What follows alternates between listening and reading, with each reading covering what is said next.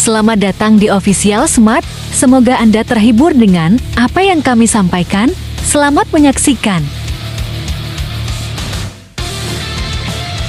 Transfer di luar dugaan tiga tim Jawa Timur, Arema FC, Persebaya Surabaya, dan Madura United, dua keputusan justru terjadi di luar logika.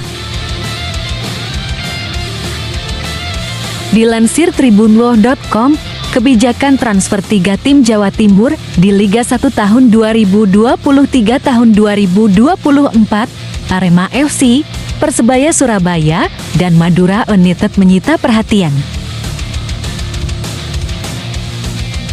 Pasalnya, dua di antara Arema FC, Persebaya Surabaya, dan Madura United memutuskan kebijakan di luar logika yang seharusnya tak mereka lakukan.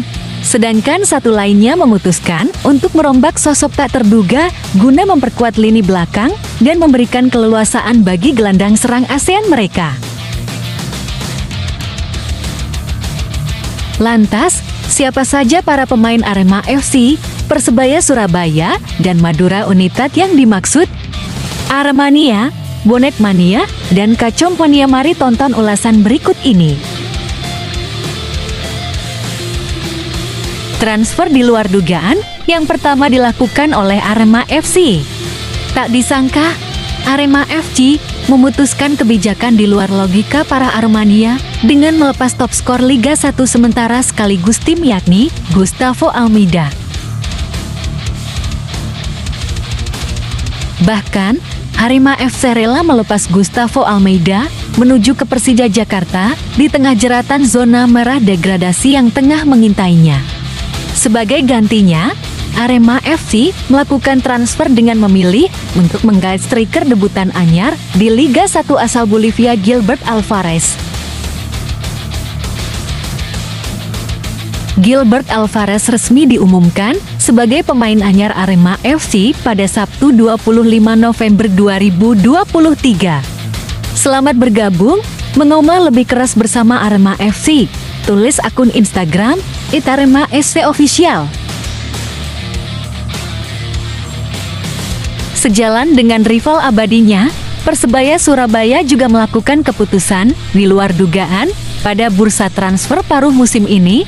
Bagaimana tidak, pemain yang pada paruh musim lalu didatangkan dari PSS Sleman justru dijual oleh Persebaya Surabaya pada paruh musim ini. Padahal, Secara statistik, Su Valente terhitung cukup menawan bersama Persebaya Surabaya.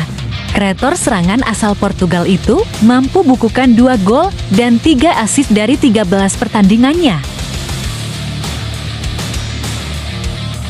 Uniknya, si Valente dilepas ke tim sesama asal Jawa Timur lainnya, Persik Kediri dengan status pinjaman. Sebagai gantinya, Persebaya Surabaya memilih untuk memperkuat lini belakangnya dengan menambah bek asal Brasil, Jan Victor.